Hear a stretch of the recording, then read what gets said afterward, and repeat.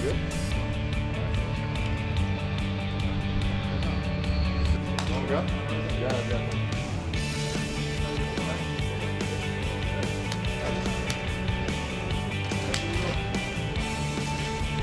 Harry? Ya está. Congratulations! well, congratulations. How does it feel to be playing for Montreal Impact? What's it like?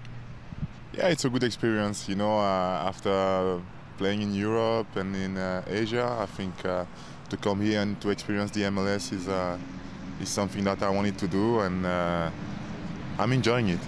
And what's the city like? What's life out here like? It's a great city. You know, um, they're um, first of all they're French speaking, but uh, there's a lot of um, also uh, people who speak English.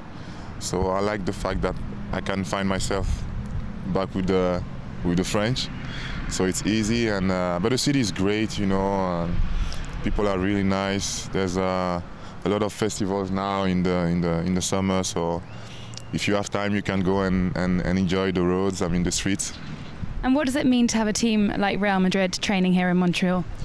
Yeah, for this club who's young in the in the football history and in the MLS, also it's um, it's a big thing, you know, uh, for the publicity, but also I think for the club to experience um, the professionalism uh, that Real Madrid is is is giving is, is is having like since years. You know, he's one of the most successful club in, in, in the football history. So it's good for the club to see that, and it's good also, I think, for the players to to see maybe some players or the training sessions and, and believe that they can they can achieve something. you know. And you've played against Real Madrid before. What's your opinion on them as a team?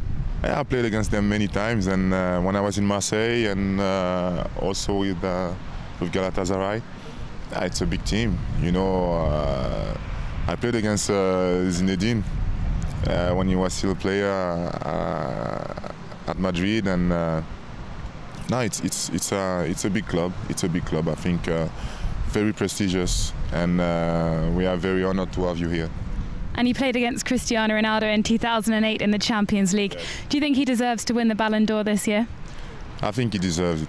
You know, uh, when you look at the campaign he had, the season he had, and uh, the way he carried the team, uh, the national team, um, in the Euro, even if he didn't play the final, uh, I think that's that's his teammates' achievement, but it's also he was a big part of it. A big part of it. He's a leader, a true leader. leader. And how is pu- how is football conceived here in Canada? Did people watch the Euros? Did people watch the Champions League final? Yeah, they watch all the, all these uh, big events, and uh, here the, the main sport is hockey, but we're trying with the with our our performances, with our results to to um, to get to the same level, and uh, I think it's nice because we have um, full stadium every weekend when we play here, so it's it's becoming big here. And these facilities are brand new. They're spectacular. Do you feel lucky to be playing at such an amazing training facility? Yeah, we have. Uh, I think there's some teams in, in Europe who doesn't have this kind of facilities.